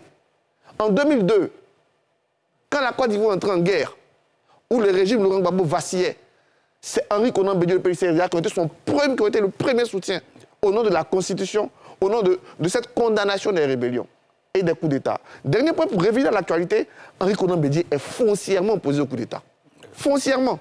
Vous n'allez pas avoir une seule déclaration d'Henri Conan Bédier où il ne s'oppose pas au coup d'État. Parce qu'il sait lui-même les dangers. Les dangers du coup d'État, c'est quoi? Et je vais terminer pour dire la vision d'Henri Conan Bédier. Pour moi, c'était un homme qui avait une vision. Et je suis bien content que vous êtes revenu sur son discours à la Convention de 95, avec ce Yes We Can, avec un projet clair, les éléphants d'Afrique, un- un- un- un- un- une devise claire, le progrès pour tous, le bonheur pour chacun. On savait quel moment il partait. Mais moi, j'ai regretté, et au- aujourd'hui, je vous en veux un peu, euh, euh, euh, les gens du PDC RDA, j'ai regretté que vous ne soyez pas aux élections de 2020, parce que le congrès de la, convention de, la Convention de Yamsoko, programme clair, il y avait longtemps qu'on avait eu un discours. Et donc, c'est avec des objectifs politiques clairs, des objectifs économiques clairs. C'est un homme à vision. Vision qui, je pense, vous avez par- parlé de la question des regrets. Je ne sais pas pour lui, mais pour moi, l'un des plus grands regrets que j'ai eu, c'est de n'avoir pas eu cette capacité de traduire ce qui était vraiment l'ivoirité. Pour moi, je pense que Henri Conan Bédier, s'il doit regretter quelque chose, c'est cette, cette façon d'avoir galvaudé un concept qui devait être fédérateur.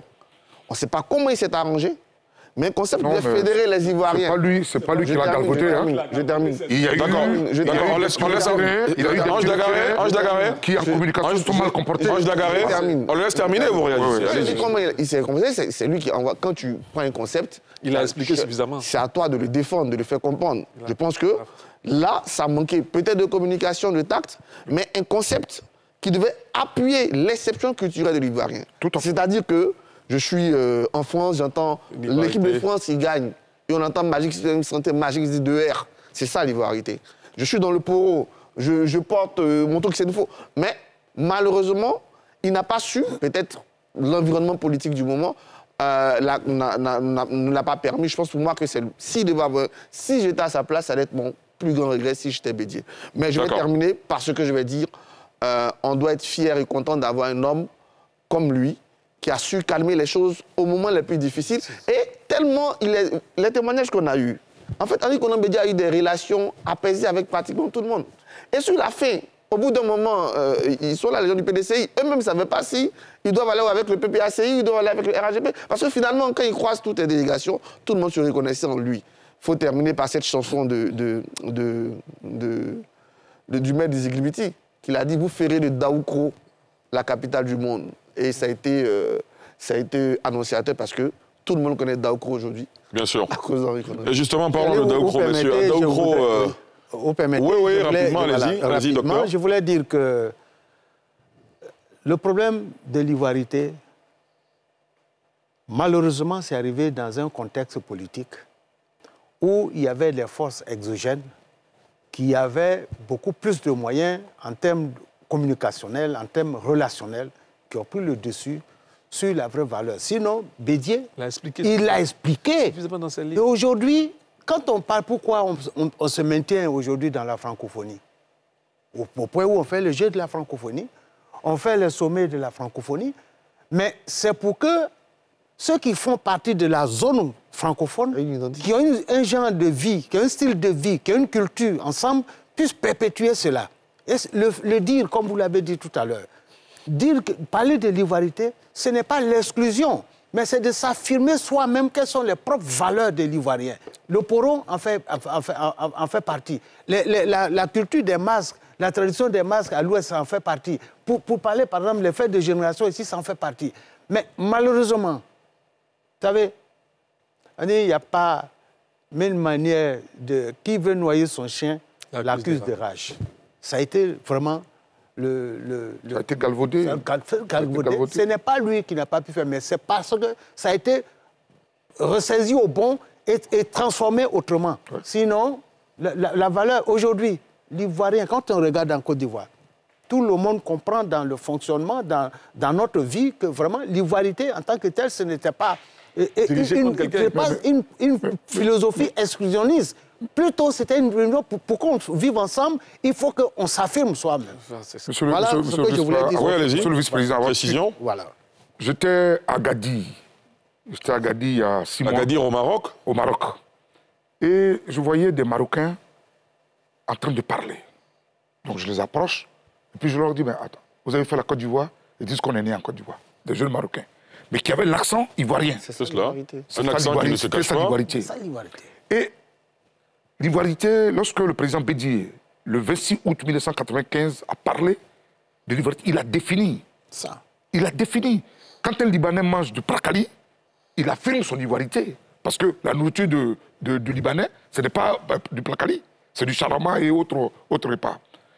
Il y a eu des gens qui avaient des comptes à régler à l'intérieur du PDCIRDA qui ont utilisé cette arme-là pour régler leurs propres comptes. Et malheureusement, nous avons manqué de communication.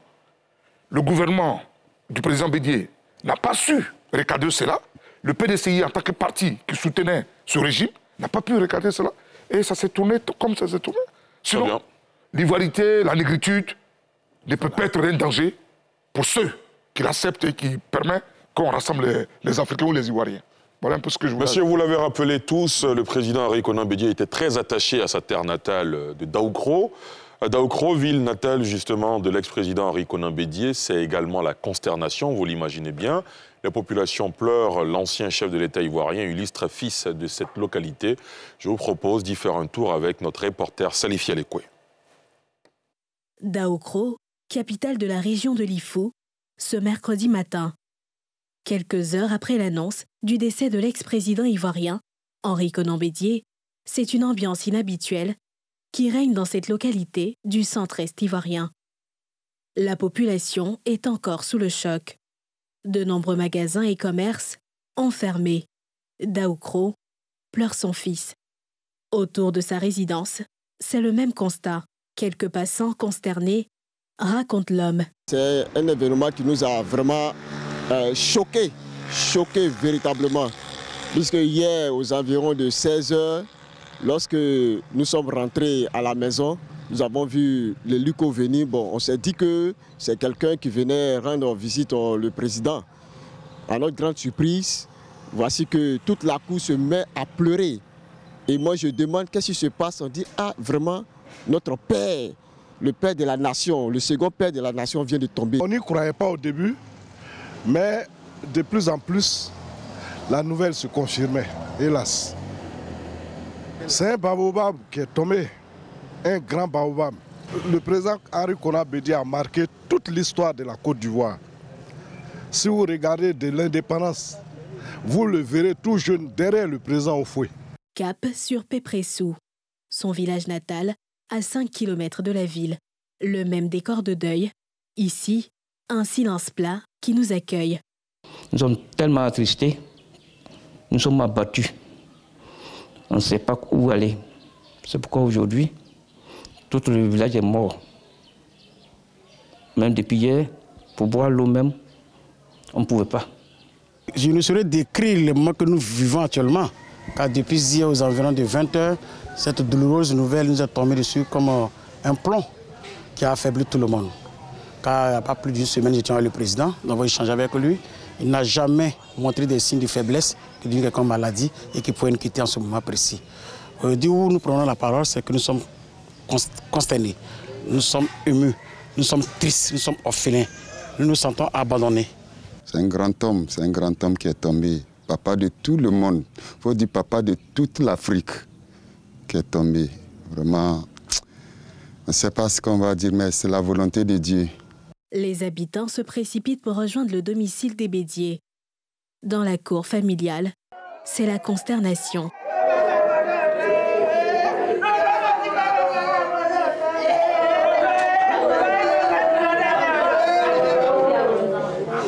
Henri Conan Bédier, dénommé le Sphinx de Daoukro, a succédé à Feu Félix Houphouët-Boigny, le premier président de la République, du 7 décembre 1993 au 24 décembre 1999.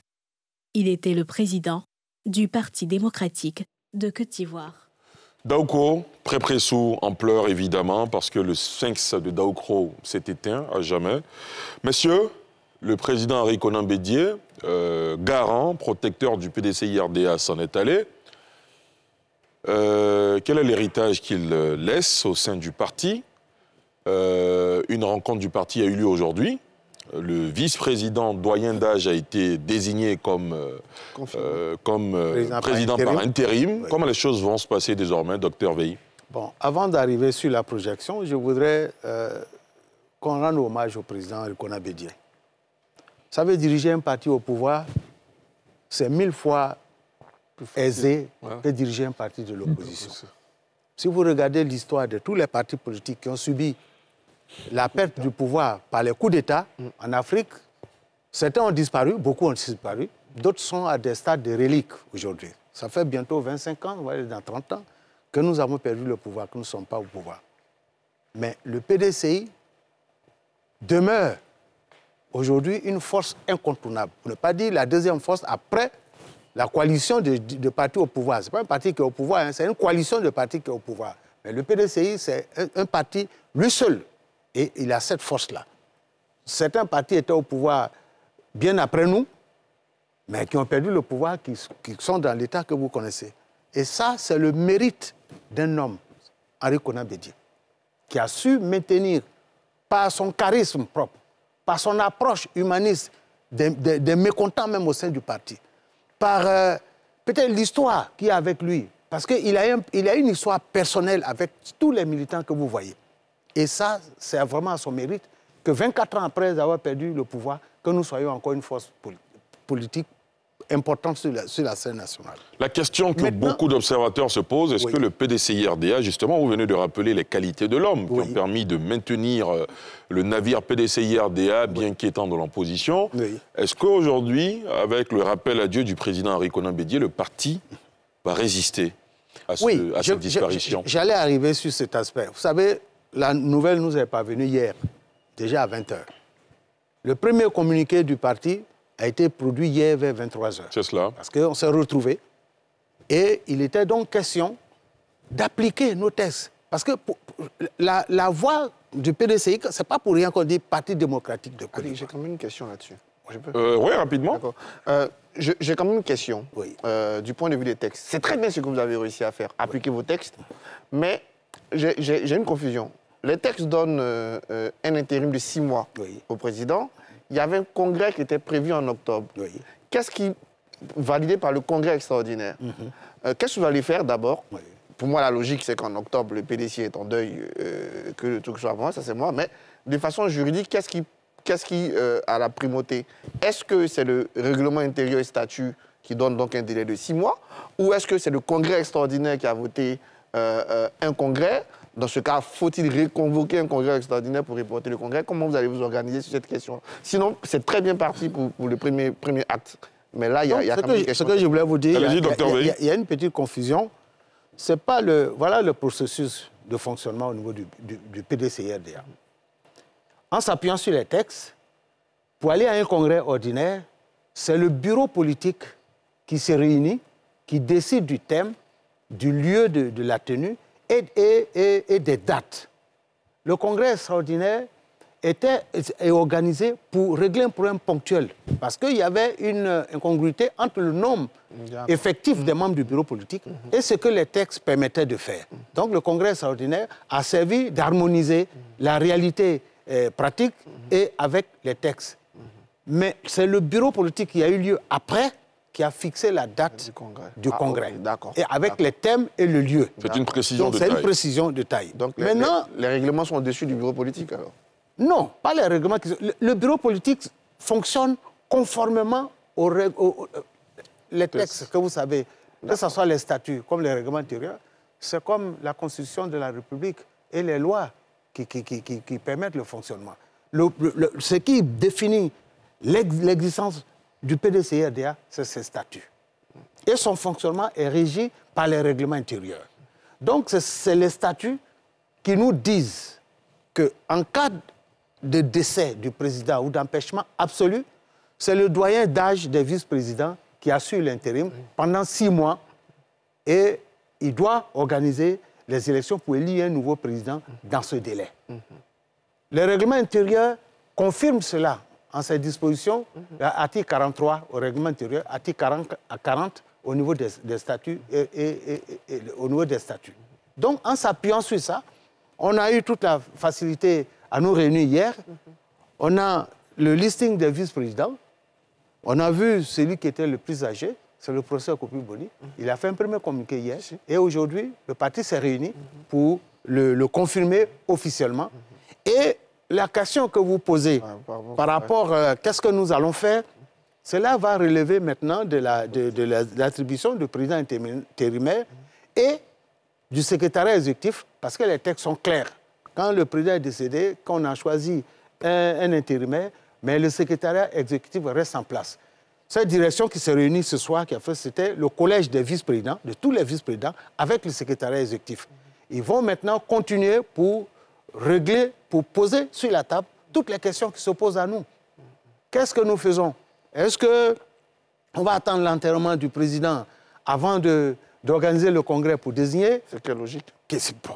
Ça, ça dépend. L'enterrement du président ne dépend pas du parti. Bien sûr.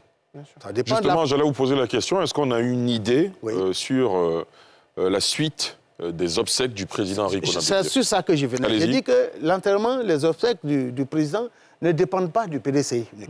Ça dépend de la famille biologique, et ça dépend aussi de l'État de Côte d'Ivoire. Parce que c'est un, ancien président de la République. Un ancien président de la République. C'est ces deux entités qui vont se réunir et qui vont dire au, au parti, ah bon, nous, votre militant, qui est notre fils et qui est un serviteur de l'État, voilà les dates que nous avons choisies pour pouvoir faire ces obsèques.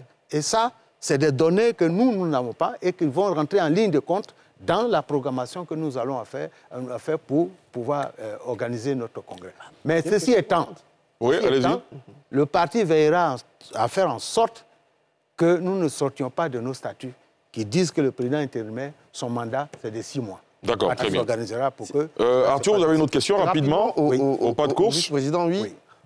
C'est bien réussi le premier acte. chapeau. Le, le PDC est resté fidèle à ses textes. Mais est-ce que le plus grave, ce n'est pas derrière. Parce qu'aujourd'hui, le, grand vide que laisse Henri Conan Bédier, après 30 années de présidence, c'est qu'il n'y a personne comme lui. Mm, Et ça va naturellement, naturellement aiguiser les appétits quel dispositif vous, vous, allez mettre en place Parce qu'il est fondamental, capital. Vous avez dit, la réussite, malgré tout, d'Henri Conan Bédier, c'est d'avoir conservé un parti qui a perdu le pouvoir par coup d'État. C'est-à-dire qu'il aurait pu se faire décimer. il a su le garder en gouvernement, il a su le garder dans l'opposition, il a su le faire. Ça, on peut le rester. Mais aujourd'hui, l'héritage à conserver passe nécessairement par l'union de tous les enfants du PDCRDA. Bien sûr. Quel mécanisme vous en place pour le garantir, puisque c'est lui qui pouvait, de par sa personnalité, de par son charisme, de par son moral, la garantie n'est plus. C'est la vraie inquiétude des militants aujourd'hui, et c'est la vraie question de tous euh, les observateurs politiques. je pense qu'il a, il a essayé de donner des éléments tout à l'heure. Je, je, vais, essayer de lui... De, de, oui, très rapidement, parce que franchement, le, fond, le fondement de cette émission, c'est de lui rendre hommage. On va passer rapidement sur les questions de succession, mais rapidement, Je voulais vous dire, c'est que le PDCI, il a cette capacité aussi à l'image de, son président, mm. de pouvoir rebondir des situations C'est compliqué. Le monde du, coup d'État, il a été difficile. Vous avez vu les partis qui sont sortis au sein. D'abord le RDR, l'UDPCI, et ainsi de suite. On s'en est remis. Tout près de nous ici, en 2018, avec le, notre séparation avec le RADP, vous avez vu les cadres de quelle pointure, à quel niveau ils étaient, qui étaient les piliers du parti quand ils sont partis. Moi, vous avez vu que le PDCI s'est ressaisi. C'est ce qui va se passer le PDCI mérite son nom de parti démocratique. Ce qui est la force au niveau du, PDCI, c'est qu'on n'agit pas par coercition, mm. on agit par conviction. D'accord. Ce qui va se passer, c'est qu'on va donner la liberté à chacun, à tous ceux qui ont des ambitions, de pouvoir les exprimer, mais dans l'intérêt du, PDCI. D'accord, très bien. Voilà la D'accord, s'il vous plaît. À la disparition du président Félix voilà. En 93, ça n'a pas été facile. Hein. Oui, bien sûr. Vous vous rappelez l'expression, il y a du feu dans la maison, et quelqu'un qui répond, il n'y a pas de feu. Pas de feu il fallait, il fallait arriver à mettre d'accord ces, deux positions pour que le parti survive. Et cela s'est fait le 30 avril 1994 sous proposition de Mathieu Ekra C'est cela. au Congrès. Suivez l'avis du parti, vous verrez Bien sûr. Va, Bien sûr. Et, il va, remonter. D'accord. et, on prend contact encore une fois avec Dr Kwasi Bredoumi Soumaïla, qui est porte-parole du parti, on l'a entendu à l'entame de cette émission. Docteur euh, Kwasi Bredoumi Soumaïla, avant de vous laisser partir, je rappelle que vous êtes à l'étranger, mais vous avez tenu quand même euh, à, accepter notre invitation. Vous êtes optimiste pour la suite, euh, pour le PDCI-RDA Merci beaucoup. Je pense qu'avant de donner mon point de vue sur l'avenir, je voudrais dire quelques valeurs du président Allez-y, allez-y. Il s'agit notamment de quelqu'un qui est très versé dans les dossiers. Vous allez donner n'importe quel document au président Bédier, il va vous le lire, il va surligner, il va le corriger avec les phrases et les expressions qui sont propres à lui et qui frappent. Vous, et puis c'est quelqu'un aussi, comme on l'a dit, il écoute beaucoup. Et il a eu la chance d'avoir une dame, une femme, mm. qui, avait, qui est restée longtemps avec, avec lui mm-hmm. et qui a été c'est la première conseillère et qui a servi aussi à détecter certains cadres qui l'entourent. Moi, particulièrement, je sais que la dernière rencontre, avant de rencontrer le président Bédier, j'ai été reçu d'abord par son épouse qui m'a donné un certain nombre, m'a décrit comme on lui a décrit d'abord, et puis qui a dit que je voudrais que Henri va te recevoir et il faudrait être à sa disposition pour conduire le PDC RDR. Donc je voudrais qu'à ce moment difficile, on pense à elle. Bien sûr. Parce qu'elle elle est elle aussi à, l'extérieur. Elle est arrivée, je ne sais même pas si elle a pu voir son épouse. elle n'a pas, pas, vu. Elle a vu qu'à la morgue. Elle n'a pas vu. Ah, Donc ça, c'est extrêmement difficile à supporter. Il faudrait qu'on puisse là et nous serons à ses côtés pour faire. Bien sûr. Maintenant, ce qui concerne l'avenir, le président Henri Conan Bédier, la dernière rencontre que j'ai eue, comme si c'était un signe promotoire, il a dit il faut que vous soyez unis. Que on parlait justement du congrès qui va se tenir et j'avais quelques points de vue là-dessus. Il dit quelles que soient vos positions, soyez unis. L'intérêt du parti doit primer. Et je pense qu'aujourd'hui, plus que hier, plus qu'encore notre intérêt à être ensemble autour de qui sera n'importe quel cadre qui sera à la tête du, parti, il faudrait que nous mettions nos valeurs, nos compétences à sa disposition pour faire avancer le PDCI RDA. Nous avons fait suffisamment de sacrifices, personnellement ou collectivement, pour maintenir le PDCI RDA, pour euh, éviter les appâts faciles pour lesquels certains se sont occupés là-dessus. Et aujourd'hui, on ne va pas sacrifier tout cela sur des, des tas d'égoïsme.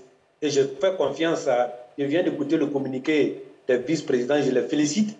Et je pense que nous allons continuer sur cette lignée pour que, de manière démocratique, nous puissions trouver celui qui va faire avancer le parti et nous serons à ses côtés, nos compétences vont être à sa disposition pour faire avancer le parti. Donc, pour moi, je suis très optimiste.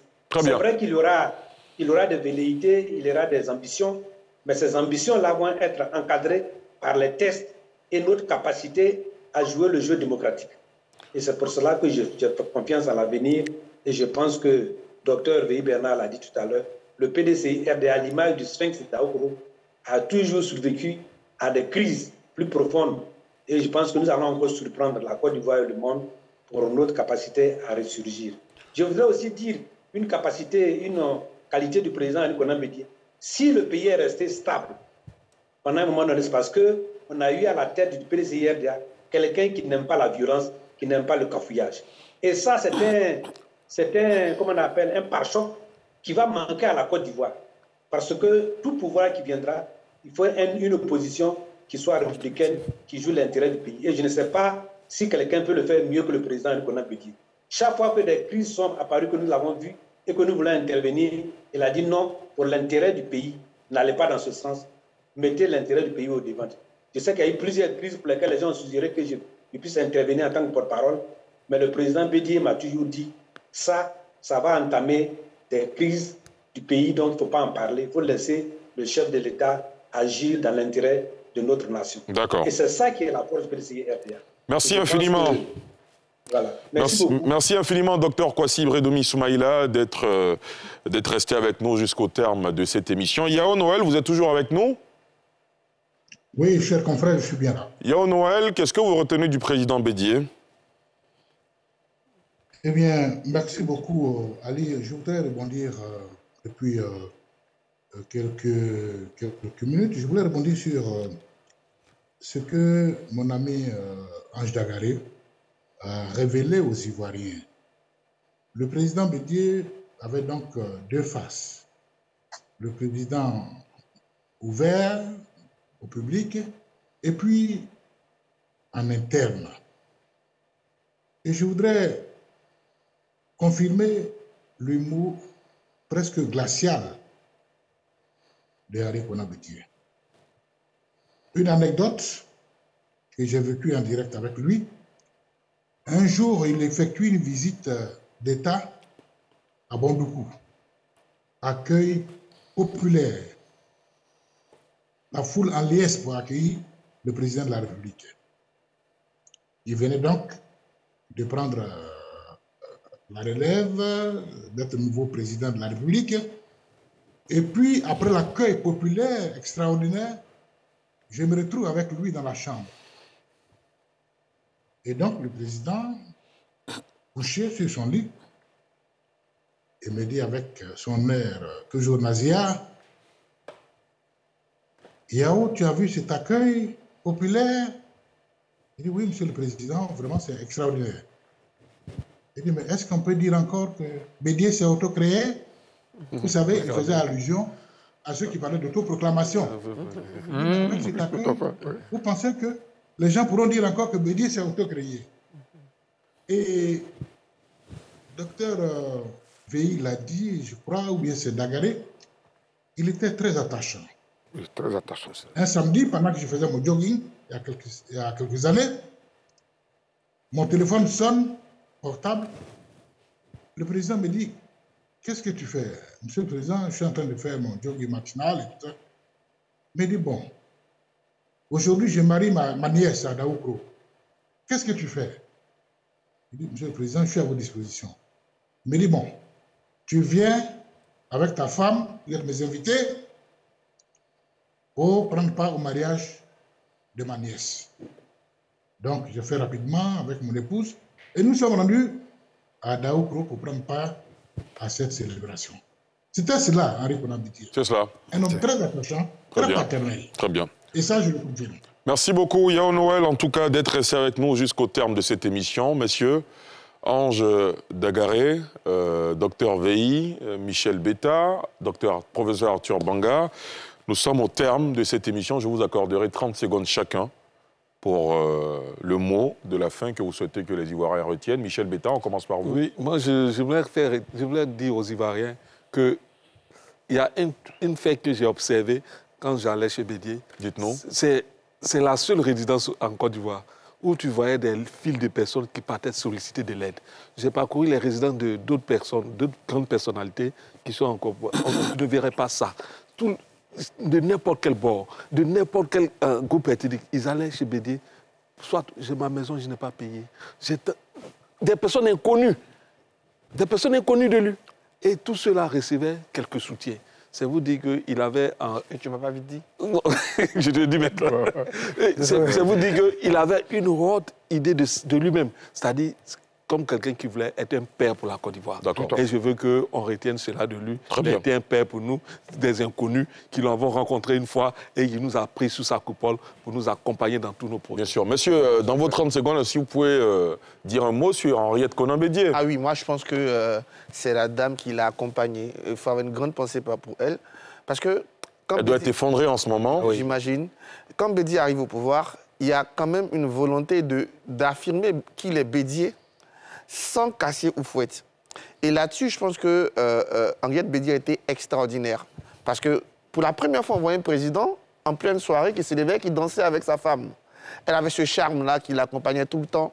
Elle lui permettait d'être au-delà du président. Même vous qui avez vu dans l'intimité, on voit le président se libérer des fois en public. Deuxième chose qui est assez importante, il a dit lui-même, je lui demandais de ne jamais se séparer de mes amis parce qu'elle restait le canal. Je me souviens de sa photo, au moment où il y avait la grande crise entre PDC, RDA et le RAGP. On se souvient de sa photo à Paris avec la première dame. Donc c'est quelqu'un qui a su accompagner son mari et dans sa carrière politique. Et il a eu la chance d'avoir une femme comme elle. Et c'est un couple, d'ailleurs, pour terminer sur le plan humain, c'est un couple qui doit inspirer tous les jeunes mariés, tous les jeunes gens, avoir cette longévité, cette fidélité. Et euh, sa biche royale, malgré euh, l'état difficile, c'est un exemple humain à suivre. Ange Dagaré Grande dame. Grande dame à la, à la session pouvoir de son mari.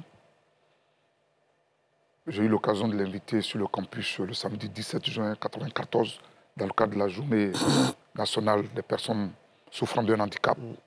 Elle a répondu positivement. Et c'est depuis ce jour que je suis devenu son fils adoptif. Et à l'occasion de leurs 50 ans de mariage, elle m'appelle.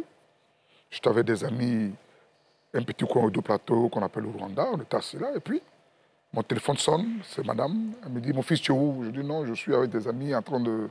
Elle dit, bon, tu peux venir maintenant? Je dis, oui. Elle dit, bon, j'ai les 50 ans, mais ton père ne veut pas. Alors, il faudra le convaincre. Parce que je veux fêter mes 50 ans de mariage. Je dis, OK. Comment tu veux qu'on organise ça? Pour que Romain, sa belle-fille Myriam Bédier, et Jean-Jacques Bombo et Déborah Quadio. Donc nous nous réunissons. Et puis bon, je, je lui demande ben, qui a été votre président d'organisation en 58 quand vous mariez à Poitiers? Elle donne le nom de, du monsieur Kakou Pierre Clavet, qui était, qui était directeur de l'administration judiciaire, qui était à la retraite à Tia-Salé, mm. l'oncle de mon frère et ami Chaltagro. Donc euh, je prends contact avec lui à Tia-Salé, mais tout ça le président Bédier ne sait pas. Et sa première secrétaire, quand il était ambassadeur aux, États-Unis, une blanche, donc on prend contact avec elle, et son fils euh, Jean-Luc. Et puis en tant que maître des cérémonies, je dis, bon, monsieur le président, euh, les invités sont là. Et il me dit, non, mais écoute, faut pas que ça dure, parce que au plus tard, à 21h, on aura fini, et puis bon, voilà. Aime trop, elle aime trop danser, elle aime trop la joie. Et au moment où euh, et moi, on installe, il sort de sa chambre et puis il dit, mais qui a, qui a branché ça? Et euh, Papy, euh, Yapi Lambert, qui lui dit, non, c'est Ange avec Barbosa. Il dit, mais pourquoi aller? Débranche-moi ça. J'ai envoyé le compteur forain, j'ai payé 200 000 francs à la CEI pour ne plus qu'on prenne sur euh, mon compteur personnel. Et puis bon, la cérémonie commence. Je l'annonce, ils sont allés à Saint-Jean, ils sont venus, et puis j'annonce. Et le conducteur, tel que je l'annonce, je dis, bon, monsieur le président, il y a 50 ans, nous n'étions pas là. Vous aviez un de vos amis, Kakou Pierre Clavec, vous appelez Picmal, qui est là. Il était tellement heureux. Pour dire combien de fois il est chaleureux. Et puis je dis, le jeune homme que je vous annonçais, il n'a jamais fait un discours en Côte d'Ivoire. Mais vous allez le dire, mesdames et messieurs, Jean-Luc Médier, et qui vient, qui dit Oui, papa, les dimanches, quand on était petit, tu chantais, tu préparais pour nous, tu nous consacrais tes dimanches, tu préparais, puis il, il, Et qui vient pour boucler, c'est sa secrétaire, qui n'a plus vu depuis longtemps, une blanche, que j'annonce. Un monsieur vraiment charmant dans son intimité, si... et quand il vous a adopté, vous pouvez parler de tout avec lui. Bon, c'est vrai qu'en public, euh, il ne parle pas beaucoup, mais quand vous. Bon, je vais m'arrêter là parce que. On sent, on sent moi en tout cas, l'émotion qui vous étreint. C'est un grand homme qui ne s'est pas laissé découvrir par les Ivoiriens, qui est resté trop aristocratique dans sa vie politique et qui, qui mérite que des monuments d'Estelle soient élevés à la gloire de sa mémoire. Car il était un grand homme qui aimait profondément la Côte d'Ivoire, qui était très nationaliste et qui voulait que les Ivoiriens vivent en paix. Très bien. On termine avec vous, docteur Veilly alors, ce que je voulais que les Ivoiriens retraînent, c'est que Bédi a été une grâce et il a bénéficié de la grâce de Dieu. Voilà un homme, 89 ans, son épouse, 80 ans passés, ils ont plus de 50 à 60 ans de mariage. 60 ans 60 ans de mariage ensemble. 65 ans exactement. 65 ans exactement. Tu dis que c'est une grâce. C'est une grâce que nous avons, c'est vrai. Nous sommes peinés aujourd'hui, qui nous laisse, au moment où on a encore le plus besoin de lui, mais il ne faudrait pas qu'on soit ingrat à Dieu, qu'on rende grâce à Dieu, et que le président qui a tout donné pour son pays et pour son parti, que nous nous tournions vers Dieu pour implorer sa grâce, sa pitié, pour qu'il puisse l'accueillir vraiment dans son royaume céleste. C'est ce que je voulais dire, et implorer que le, le vœu qu'il avait de succès et de pérennité du parti et de paix en Côte d'Ivoire, que de là où il est, il continue d'intercéder pour que le PDCI et la Côte d'Ivoire bénéficient encore de ses qualités et de ses projections qu'il avait. Merci beaucoup, docteur Veilly Bernard. Je rappelle que vous êtes vice-président, secrétaire exécutif chargé des structures du PDCI-RDA. Ange Dagaré Dasso, membre du bureau politique du parti délégué communal de Cocody 3. Michel Betta, directeur de publication du journal Le Bélier, et professeur Arthur Banga, historien, analyste politique, enseignant à l'université Félix Houphouët-Boigny de Cocody. Merci à tous nos téléspectateurs et internautes. Vous étiez un peu plus de 5000 à nous suivre dans le live Facebook et évidemment un peu plus nombreux euh, à nous suivre à la télévision. Merci d'avoir suivi cette émission, cette édition spéciale en hommage au président Henri Conan Bédier, rappelé à Dieu hier et aujourd'hui, NCI a voulu donc s'arrêter pour magnifier la mémoire de ce grand homme d'État. Merci donc à toutes et à tous de nous avoir suivis. D'ici euh, euh, l'évolution des choses, nous vous tiendrons au parfum euh, de l'organisation des obsèques du deuxième président de la République de la Côte d'Ivoire. Merci à toutes et à tous. Je vous souhaite de passer une excellente soirée sur la nouvelle chaîne ivoirienne. Toutes les condoléances de NCI à la famille biologique, à la famille politique du président Aimé Henri Conan Bédier. Excellente soirée sur NCI.